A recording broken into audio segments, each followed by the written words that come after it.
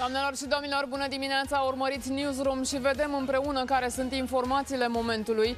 Sunt probe noi în cazul asasinatului cu bombă în care a fost ucis milionarul, cine a detonat explozibilul de sub scaun și ce se întâmplă cu fica lui Ioan Crișan și cu ceilalți suspecți.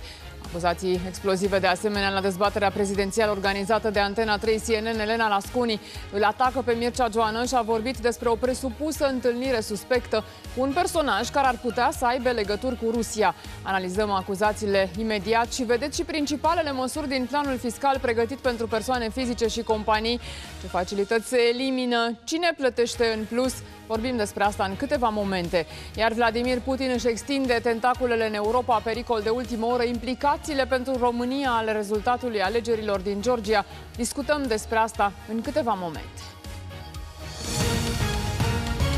Avem așadar informații noi în ancheta milionarului de la Arad ucis în atacul cu bombă. Sunt uh, surse care susțin că procurorii au obținut o mărturie decisivă cu care speră să o trimită după gratii pe fica omului de afaceri. Tânărul acuzat că ar fi asamblat detonatorul bombei le-ar fi spus că a testat sistemul pe un câmp împreună cu ceilalți doi bărbați suspecți și și-ar fi dat seama abia după atentat de ce fusese angajat. Cu detalii, Cristina Filip. Bună dimineața, Cristina! Bine v-am găsit. Într-adevăr, mărturia tânărului care este de profesie electronist ar putea fi decisivă în acest dosar. Potrivit informațiilor, potrivit detaliilor pe care le-a dat la audieri, tânărul ar fi fost căutat de cei doi uh, presupuși complici ai Laurei Crișan. Uh, este vorba despre Sebastian Bulbuc și Adrian Horodincă, care i-ar fi spus că e nevoie să asambleze acest dispozitiv în care ulterior să fie pus încărcătură explozivă și uh, chiar au testat dispozitivul dispozitivul cu o seară înainte de uh, moartea lui Ioan Crișan, în așa fel încât să-și dea seama dacă funcționează, dacă funcționează acea aplicație prin care dispozitivul putea fi detonat de la distanță. Abia a doua zi, după ce s-a aflat despre moartea lui Ioan Crișan, tânărul și-a dat seama pentru ce fusese plătit de fapt și a început să aibă chiar mustrări de conștiință, spun surse din uh, anchetă. 100.000 de euro, spun procurorii, ar fi plătit Laura Crișan, fica lui Ioan Crișan, în așa fel încât să-l omoare pe tatăl ei. Ar fi fost ajutată de uh, trei indivizi. Doi dintre ei, am văzut săptămâna trecută, au fost reținuți pentru 24 de ore și ulterior prezentați instanței cu propunere de arestare preventivă. În fața judecătorilor de de Drepturi și Libertăți a fost dusă și Laura Crișan. În ciuda argumentelor aduse de procurorii de la parchetul general, cei trei au fost lăsați în libertate. N-au practic în acest moment nicio măsură. Laura Crișan, spun sursele noastre, a rămas în București pentru a vedea dacă parchetul depune contestație, iar cei doi bărbați au plecat din seara respectivă înapoi la Arad.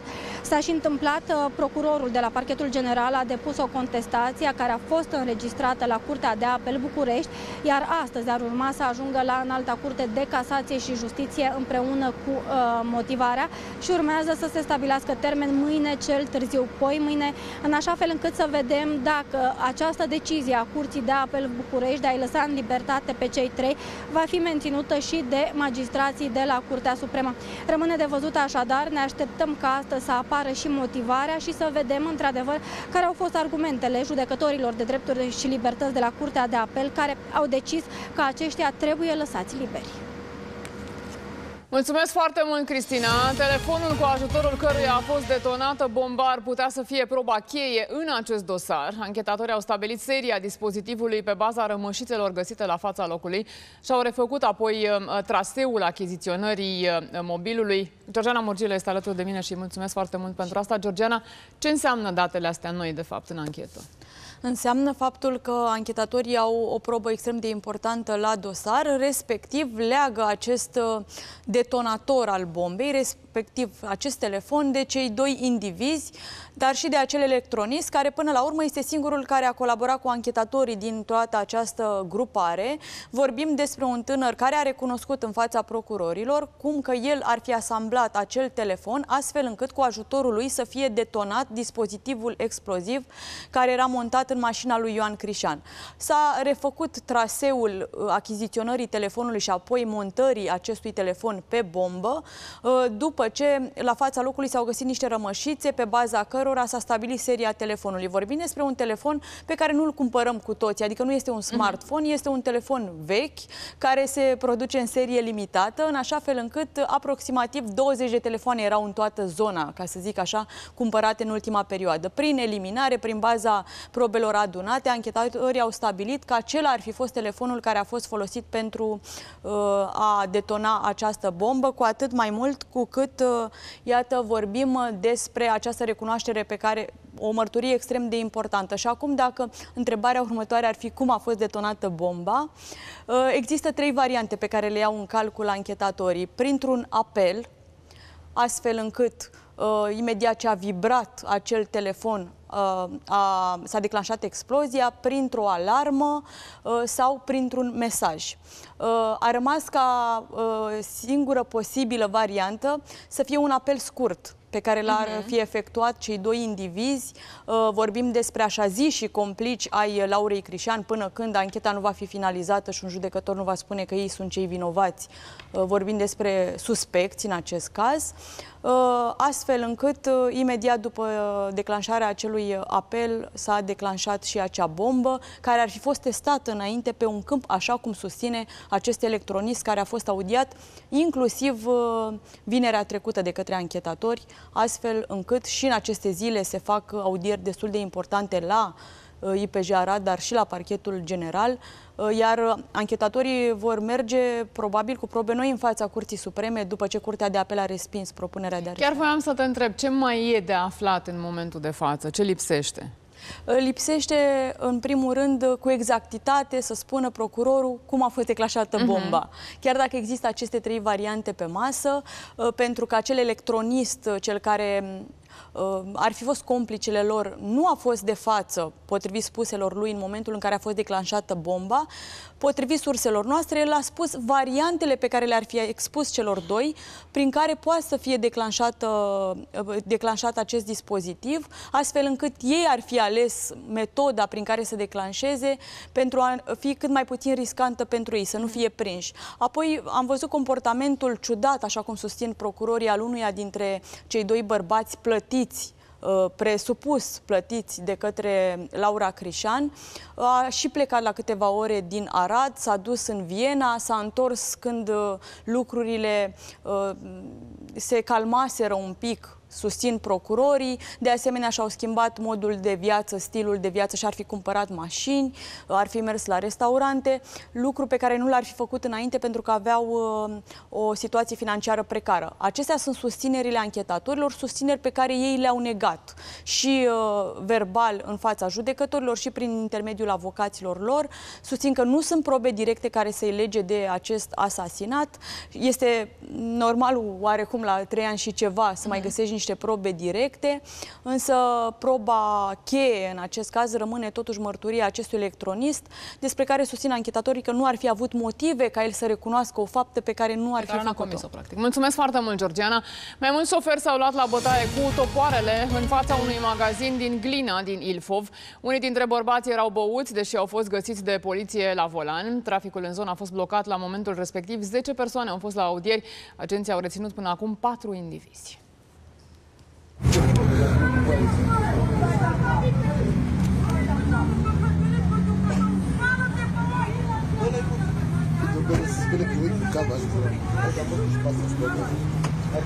Tati, nu mai merge la mine, merge mai târziu.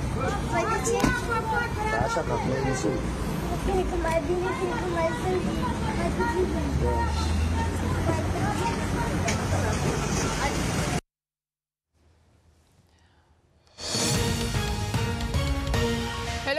Nasconi lansează acuzații halucinante la adresa lui Mircea Joană. Candidatul USR la alegerile prezidențiale a declarat aseară la dezbaterea electorală organizată de Antena 3 CNN că Mircea Joană tocmai s-a întâlnit recent cu un individ pe care România ar trebui să-l considere periculos. Nasconi a promis că va da detalii atunci când va putea să-i adreseze lui Joană o întrebare directă. Dacă ați fi invitată la un summit BRICS alături de Turcia, ați participa? Este interesant că domnul Joană ne-a, mi-a adresat această întrebare din zona asta care care vizează Rusia. Tocmai s-a întâlnit recent cu un individ uh, pe care eu îl consider periculos Cu cine și anume? care o să uh, i-am adresat întrebare și probabil că o să vină și dumnealui. Uh, Dacă care puteți să a ne avut explicați și nouă, influență- pentru că e o discuție publică, spuneți Da. că domnul Joana s-a întâlnit cu cine? Cu un individ un periculos, ați individ uh, pe care eu îl consider periculos și România ar trebui să-l considere uh, periculos pentru că a conduce o uh, divizie de hackeri uh, care au uh, manipulat alegerile în peste 30 de țări din lume. Bun, pentru că ați spus atâtea lucruri, cred că ar fi corect să spuneți despre cine e vorba. Uh, o să-i adresez întrebarea, îi trebuie să aibă și el o întrebare. Am încercat să luăm legătura cu uh, susținătorii lui uh, Mircea Joană, dar până în acest moment nimeni nu a uh, răspuns apelurilor uh, noastre. Vom încerca în continuare să obținem o reacție din partea uh, celor care îl susțin pe Mircea Joană. A fost de altfel cel mai dificil moment de până acum, spune Elena Lasconi, după dezbaterea organizată de Antena 3 CNN, un președinte în fața națiunii. Președintele USR a fost primul dintre candidații la Cotroceni care a participat la formatul CNN adus în premieră în țara noastră. Lasconi a răspuns și la întrebările jurnaliștilor postului nostru și la cele lansate de românii de rând din țară sau din străinătate. cel mai dificil moment din această emisiune? Nimic nu Este e ultima dificil. întrebare. Nimic nu e dificil. Oricum, uh, noi nu suntem perfecți, asta tot timpul uh, o spuneam și întotdeauna înveți foarte multe lucruri. M-am bucurat foarte mult că am răspuns și am răspuns continuu, astăzi nu au fost pauze, absolut deloc. Eu abia aștept să urmăresc și pe ceilalți și să mor de râs. M-am văzut puțin emoționată cu mama dumneavoastră în acel video. Da, dar m-am abținut să nu plâng și mi-a ieșit chestia asta. Păi sunt emoționată pentru că e și ziua ei, știu cât de mult a plâns la telefon cu mine, uh, spunându-mi că uh, de ce mi-a trebuit mie să fac politică, că uh, suferă când vede că se scrie urât despre mine. Deci eu sper să se țină de cuvânt și să fie la fel și cu ceilalți. Uite așa, întrebări mitralieră, întrebări capcană, că dacă nu le pregătesc eu niște întrebări capcană. Bravo, bravo, Elena, bravo. Marcel Ciolacu și Nicolae Ciuc au încercat să o încurce pe Elena Lăsconi cu întrebări de politică externă. Ciolacu i-a cerut să enumere două state care sunt membre NATO, dar nu și UE, în timp ce Ciuc a întrebat care sunt avantajele aderării la OCDE. Iată ce a răspuns. Vă rog să numiți două state din Europa, membre NATO, dar care nu sunt membre ale Uniunii Europene. Vă mulțumesc. Doar atât? Aceasta este întrebarea primului ministru. Turcia, care are și cea uh, a doua cea mai mare uh, armată din NATO și uh, pentru că au ieșit din Uniunea Europeană, uh, Marea Britanie. E prima dată după 35 de ani uh, când se discută despre, la dezbateri despre politică externă sau atât de aprins despre politică externă. Pentru că și contextul este unul complet diferit. Exact, este diferit și e normal pentru că astea sunt uh, atribuțiile uh, președintelui. Doamna Lasconi, care sunt cele trei avantaje ale României din momentul aderării la OCDE? Înseamnă că suntem în liga mare din punct de vedere economic, uh, înseamnă că suntem mai atractivi pentru uh, investitori, uh, pentru că deja uh, facem parte din uh, uh, OCDE. Astea sunt cele mai importante din punctul meu de vedere și asta înseamnă o plus valoare pentru uh, România, pentru români, înseamnă uh, români angajați uh, cu salarii mai bine plătite. Le-am zis. Este cea de-a doua zi a dezbaterilor pentru Cotroceni, un președinte în fața națiunii. Astăzi, de la ora 21, îl vom putea urmări la Antena 3 CNN pe Nicolae Ciucă, președintele PNL. Mircea Joană va răspunde întrebărilor marți, iar premierul Marcel Ciolacu vine miercuri. Alina Tănase cu mai multe informații. Alina, e un demers jurnalistic fără precedent care a stârnit interesul românilor. Spune-ne ce se întâmplă astăzi. Bună ziua, Maria! Bun găsit tuturor! Într-adevăr, un demers jurnalistic fără precedent în țara noastră, pentru că au ocazia românii să-i cunoască pe candidații la alegerile prezidențiale. Astăzi, de la ora 21, așa cum spuneai, Nicolae Ciucă, președintele și candidatul Partidului Național Liberal, vine la uh, ediția eveniment realizată de Mihai Gâdea, un președinte în fața uh, națiunii.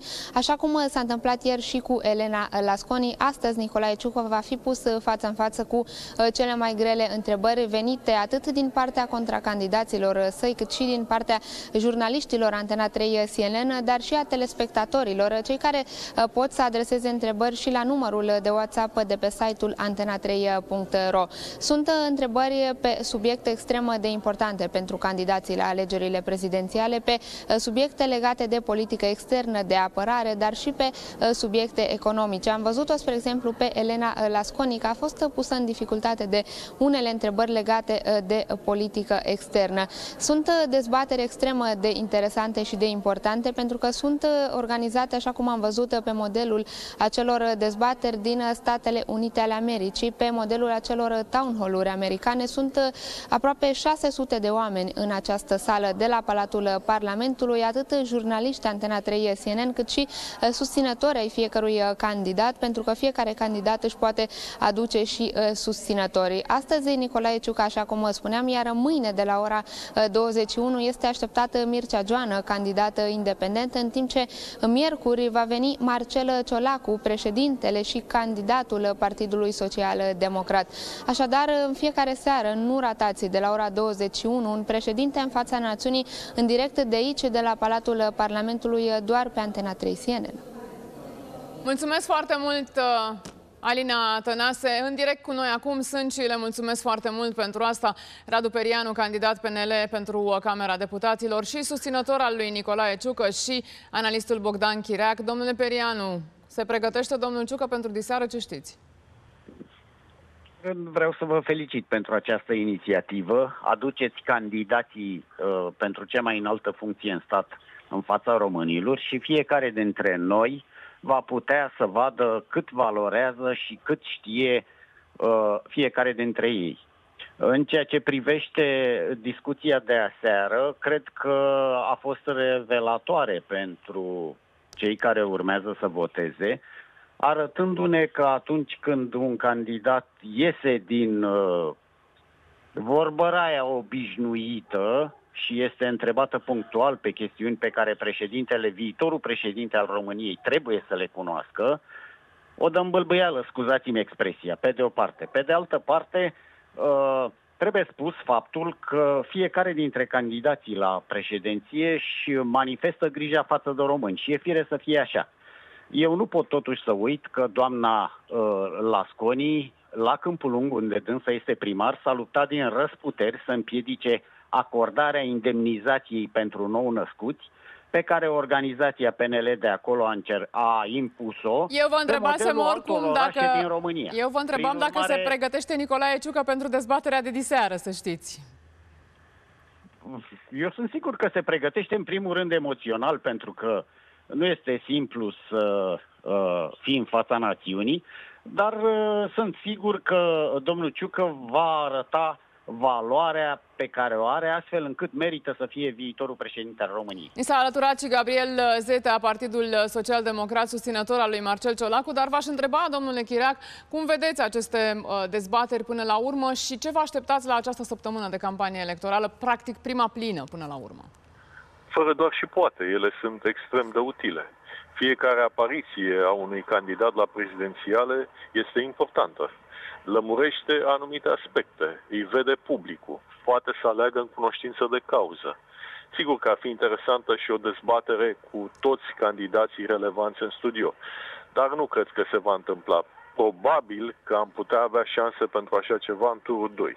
Deși încep să mă îndoiesc foarte tare, modelul lui Iohannis prevalează, faptul că a refuzat dezbaterea cu Viorica Dăncilă și a câștigat alegerile, faptul că Nicu Șordan a refuzat eh, dezbaterea cu contracandidații săi și a câștigat alegerile, e un exemplu și pentru candidații de acum de la președinție. Și cumva legitimează acest model? Da, practic așa stau lucrurile în momentul acesta.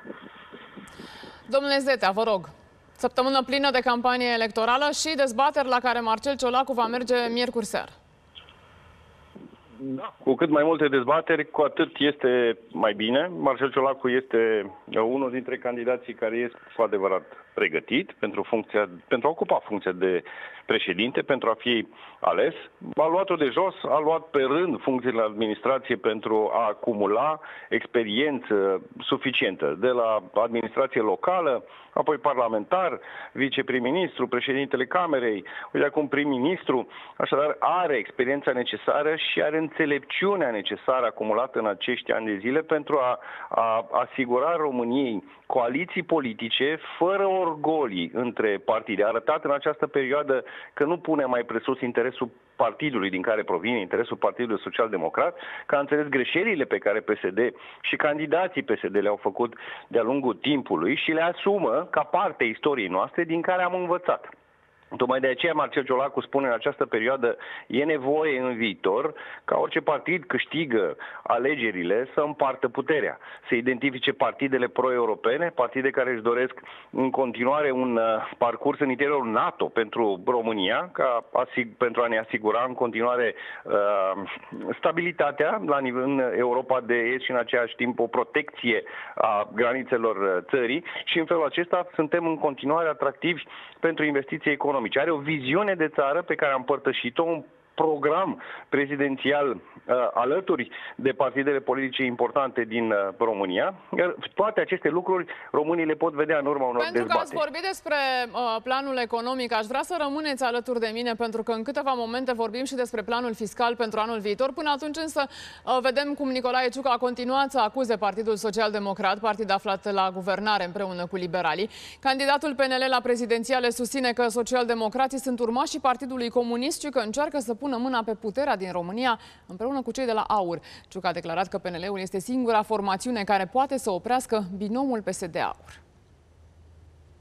Partidul Social Democrat, care sacrifică absolut orice pentru a-și duce candidatul în turul 2 cu liderul AUR, cu George Simion, iar uh, rostul nostru rostul nostru, al tuturor, al Partidului Național Liberal, este să facem tot ce ne stă în putință ca acest lucru să nu se întâmple. Urmașii Partidului Comunist Român, cu o formațiune rusă purtătoare de mesaje ale Rusiei, asta trebuie să înțeleagă și să facă Partidul Național Liberal. Este singurul partid din România în măsură să se lupte cu binomul PSD-AUR. Pentru că vorbim despre planuri economice, așadar, vom plăti cu toții factura anul viitor. După acest an electoral, Ministerul Finanțelor va prezenta la Bruxelles planul fiscal de reducere a deficitului sub 3%. Problema creșterii taxelor sau a TVA-ului pare să fie lăsată în grija viitorului guvern, dar există și cel mai probabil așa se va întâmpla. Analiștii susțin că, oricare ar fi situația, este inevitabil. Normal că mi-am asumat un plan fiscal. Cum să nu mi-asum? Dar știam de a doua zi că vor fi breaking news-uri, uitați-vă ce nenorociri se întâmplă, uitați cum se mărește TVA-ul, uitați cum cresc impozitele și taxele, uitați. Eu puteam să risc pentru un interes de o lună de zile ca România să nu depună niciun plan fiscal și automat să aibă o corecție către un deficit de 3% doar în 4 ani, a făcut-o unul. Unul a semnat că vom reveni la 3% când el avea deficit de 9,2%. Știți când trebuia să avem 3%? Anul acesta, când sunt aproape 110 miliarde cheltuiți în dezvoltarea României. Partea bună este că nu se va mări niciun TVA. Și nu voi respect, nu voi repeta experiența domnului Emil Boc care automat duce și la inflație, duce, de fapt, la o inechitate socială. A mai zis premierul că se tatuează pe mână că nu se mărește TVA-ul, dar ce ne-a spus domnule Zetea este până când nu se mărește TVA-ul, poate ne lămuriți dumneavoastră.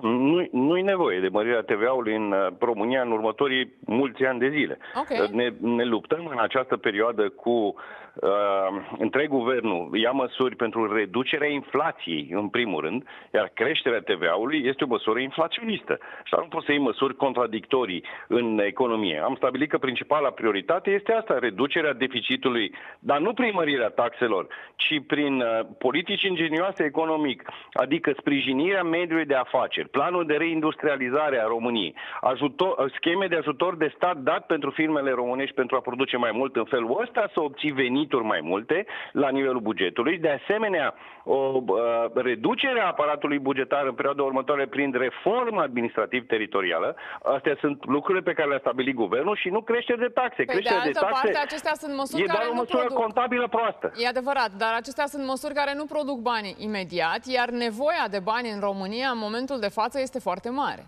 Vestea bună este că nu e nevoie de bani imediat. Guvernul a negociat cu Comisia Europeană un plan de reducere a deficitului pe șapte ani de zile, de acum înainte, așadar nu de anul viitor să ajungem la un deficit de 3%. De ce? Pentru că e nevoie de mari cofinanțări. Vă dau un exemplu foarte scurt. Eu am fost ales în urma alegerilor locale președinte a Consiliului Județean Maramureș. Vineri am depus jurământul. Am un, am un portofoliu de proiecte la Consiliul Județean care înseamnă doar cofinanțări de proiecte pentru drumuri rapide, pasaje, parcuri industriale de 200 de milioane de euro doar la Consiliul Județean Maramureș. Adunați astea cu toate Consiliul Județene, primăriile din țară, precum și ministerele din uh, România, să nu nevoie de cofinanțări, bani guvernamentali care să fie dați în România pentru a avea investiții. De, pentru asta nu poți să te dezvolți cu un plan de, de cu un deficit de 3%. Și atunci vă tatuați și dumneavoastră pe mână cu TVA-ul? Asta este angajamentul pe care l-am luat uh, cu toții, că Tatuajul nu crește nu e angajament, TVA-ul. să știți. Uh, Mai vă rog, rog, prim-ministru nu particip la, to- la toate discuțiile, dar uh, încă o dată, este un angajament luat politic de către fiecare partid, nu doar de PSD, ci și Partidul Național Liberal împreună cu Partidul Social Democrat ne-am angajat că facem aceste lucruri împreună. vă rog, domnule Perianu. Uh, Eu cred că suntem uh, în momentul de față, cel puțin, în retorica electorală și anume uh, domnul Ciolacu încearcă să nu îngrijoreze populația referitor la mărirea de taxe. Și ar Da, trebui să fim îngrijorați? Eu cred că da, pentru că PSD și-a manifestat de mai multe ori ideea sau atașamentul față de principiul impozitării progresive și uh, intenția de a elimina cota unică. De asemenea, au existat nenumărate discuții despre majorarea TVA, pentru că știm că sursa de finanțare principală a oricărei guvernări este în primul rând TVA-ul și abia pe urmă impozitele. Prin urmare, este nevoie de bani. Ceea ce... Dar nu aveți domnul încredere Zeta- în domnul Aveți ministrul Bono, de care e ministrul de finanțe, Lăsați-mă finanțe? puțin să termin, că pe urmă vă felicit că ați preluat o, uh, un județ care a fost bine administrat de PNL, astfel încât dumneavoastră nu aveți decât Domnule să... Perianu, aceea a aveți pierdut ministrul alegerile. finanțelor. Uh, De aceea a pierdut vă doresc alegerile să le- PNL, să pentru că Stați a un pic, administrat stați un pic, foarte stați un bine. pic. Haideți să rămânem la planul fiscal, vă rog Dar frumos. răm- rămânând la uh, ceea ce spunea domnul prim-ministru, domnul Marcel Ciolacu, dumneavoastră a sesizat foarte bine. Toate măsurile despre care se face vorbire necesită foarte mult timp. Nu știm în ce măsură ele vor fi aduse și la îndeplinire. Ok, pentru că și atunci se vorbește- soluția PNL care este, vă rog? Soluția PNL este rămânerea cotei unice pentru că și-a dovedit utilitatea și a dovedit, mic, a dovedit micșorarea evaziunii fiscale, a dovedit faptul că Dar România nici asta se nu poate aduce bani, dezvolta domnule economic, Berianu. Deci păstrarea cu orice preț a cotei unice. Dar nici asta nu aduce bani. Ba da, aduce bani. Aduce pentru cum că, aduce în și acum primul și rând, suntem în evaziunea această fiscală situație. Nu este la nivelul la care era în perioada în care exista impozitarea progresivă. Ok, dar a trecut multă vreme de atunci, iar între timp cota uh, Și-a unică de dovedit impozitare utilitatea. e adevărat, dar nu aduce bani în plus pentru că suntem în această situație economică având cota unică de impozitare. Mulțumesc foarte mult, domnilor. Vorbim despre evenimentul jurnalistic fără precedent din mass media din România. Un președinte în fața națiunii continuă și astăzi vă spuneam, când îl vă putea urmări la Antena 3 CNN pe Nicolae Ciucă, președintele PNL, marți Mircea Joană, candidat independent, miercuri va participa la dezbaterile Antena 3 CNN, premierul Marcel Ciolacu, președinte al PSD. Românii sunt așteptați în continuare să trimită întrebări pentru candidați pe WhatsApp la numărul 0744 882 200. Primul tur are loc pe 24 noiembrie. Finala pentru Palatul Cotroceni este pe 8 decembrie.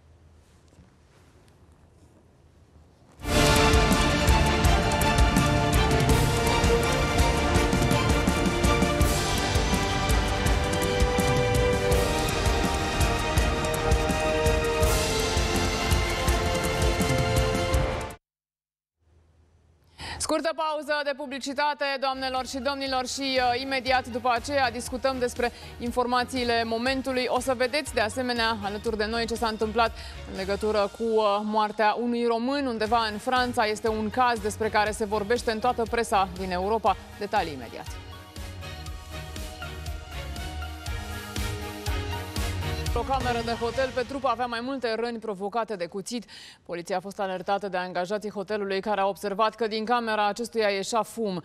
O anchetă de amploare a fost deschisă de procurorii francezi. Cu mai multe informații vine corespondentul nostru Ovidiu Stan. Te rog, Ovidiu.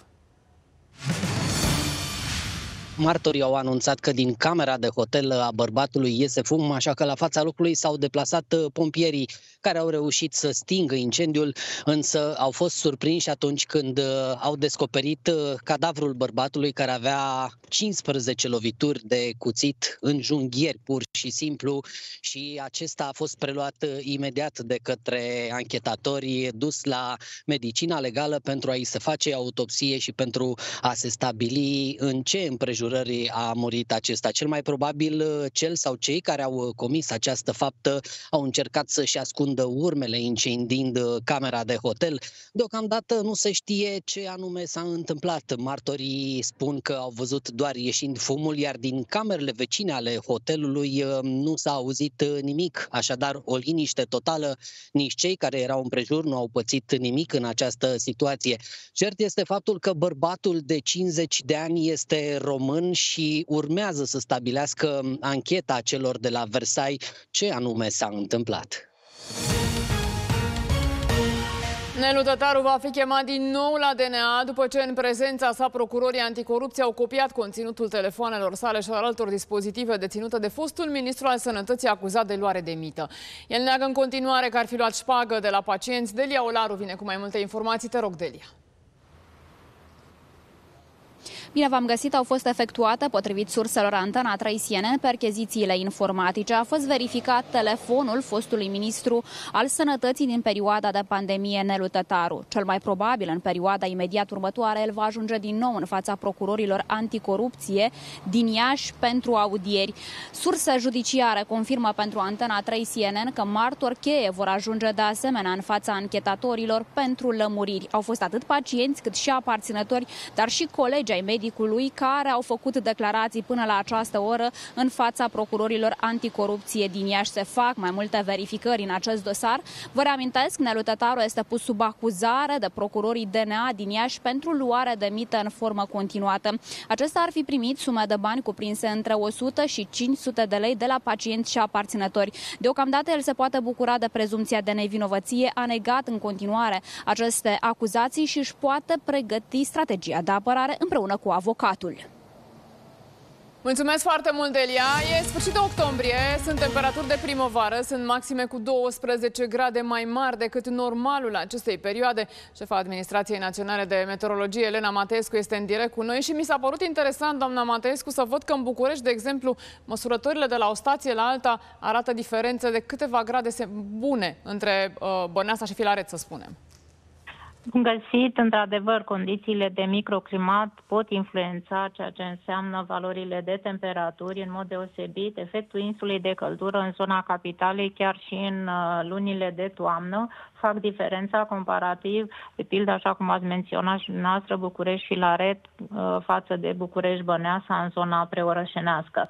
Uh, ieri am înregistrat 25 de grade la Gura Hon și Lugoș, în partea de vest a țării, 21 de grade în capitală, iar la 5 stații meteorologice în această dimineață din zona montană, Bălea Lac, Băișoara, Semenic, Parâng și Bucin, am înregistrat cele mai ridicate temperaturi minime zilnice pentru o dimineață de 28 octombrie. Astăzi, Ehm, datele indică o probabilitate ca valorile temperaturilor maxime să se încadreze între 16 până la 25-26 de grade, inclusiv în zona de sud a țării, nu numai în vest, cu o maximă în jurul la 23, posibil 24 de grade în capitală.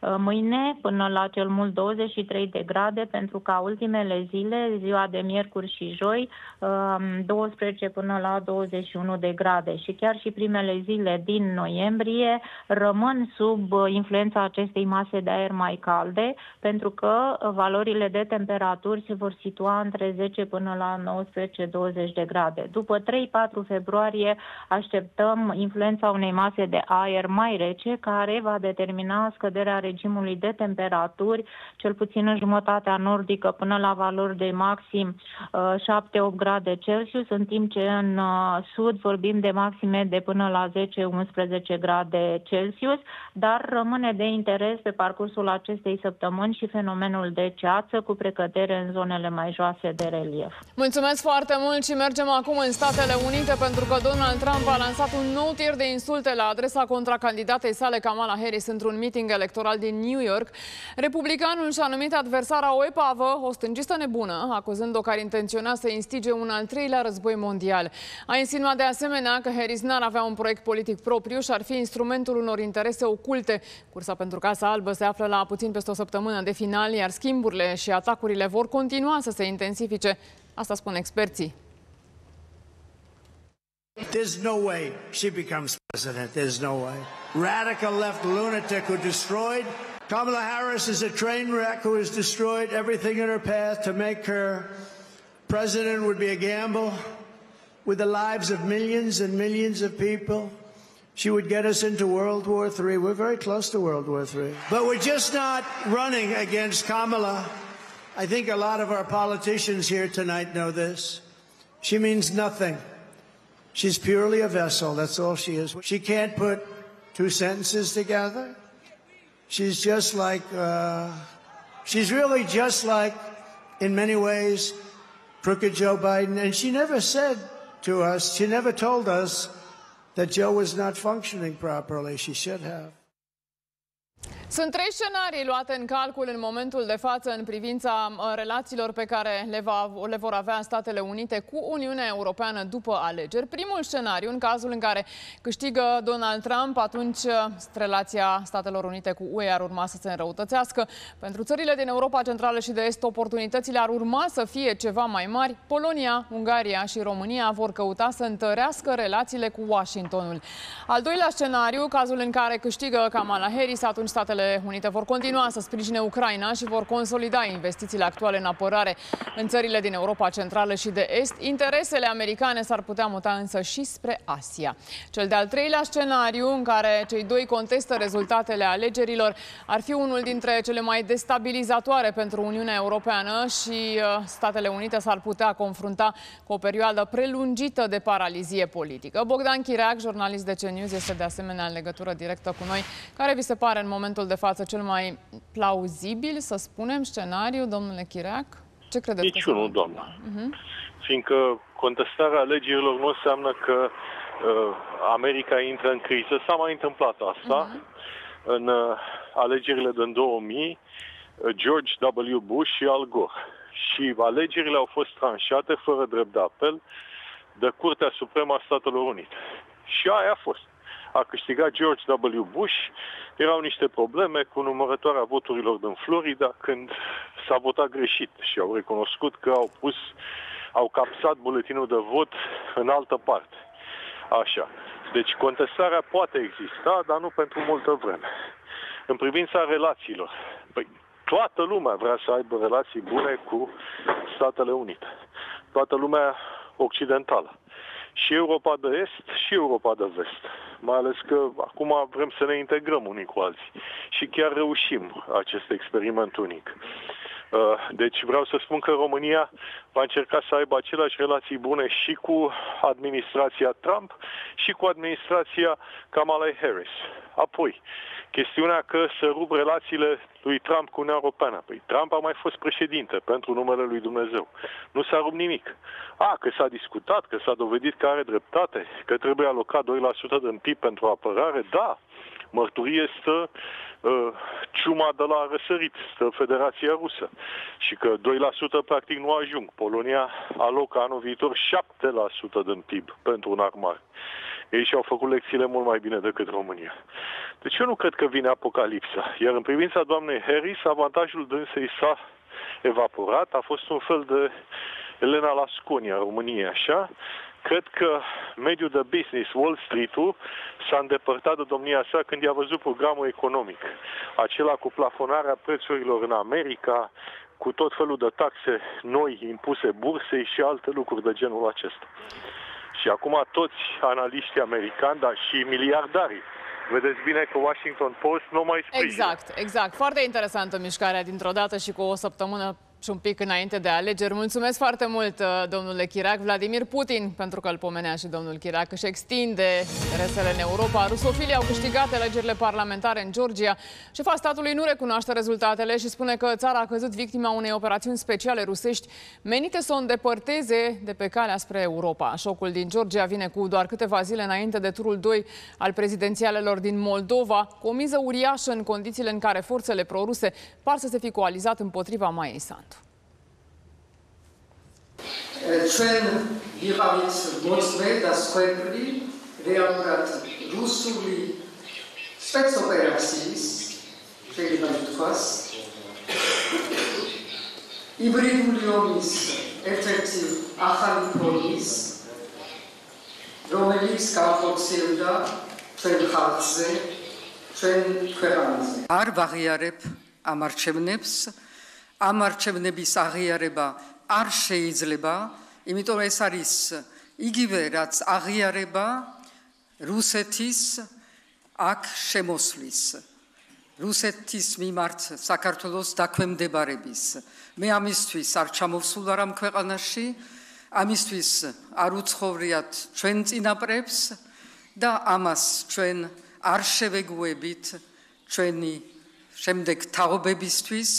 არ შეიძლება რომ ვინმე წართვას საქართველოს თავისი ევროპული momavali. Potrivit rezultatelor parțiale anunțate la 24 de ore de la închiderea secțiilor de votare, Partidul Visul Georgian conduce cu 54,8% din voturi. Asta în timp ce coaliția formată din patru formațiuni pro-europene a obținut împreună 38% din sufragii.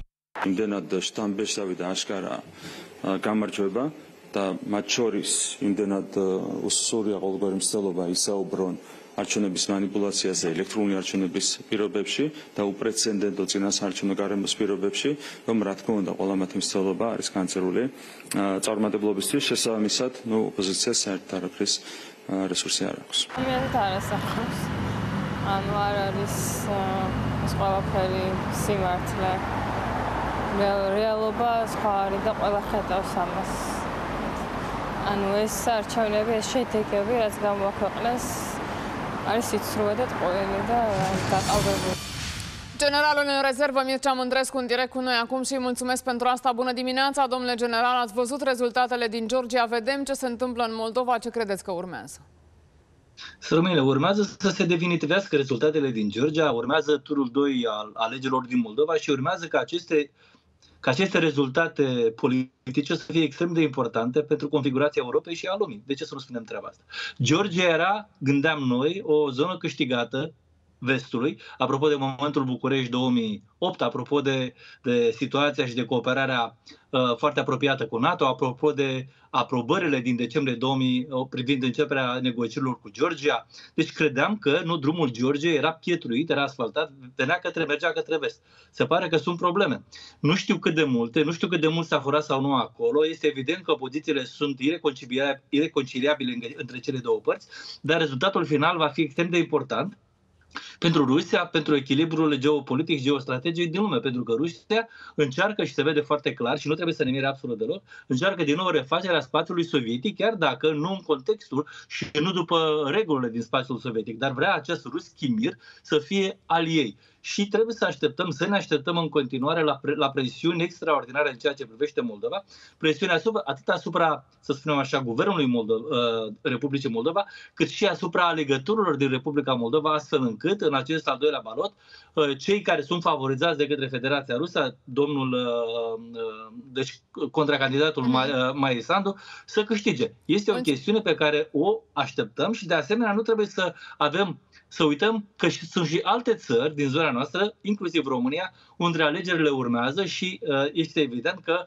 acțiunea rusă este și va fi prezent. Mulțumesc foarte mult pentru acest comentariu. Ne oprim aici, doamnelor și domnilor. În câteva momente vă așteaptă colega mea, Lorena Burlacul, al jurnalul orei 12. Să aveți o zi frumoasă!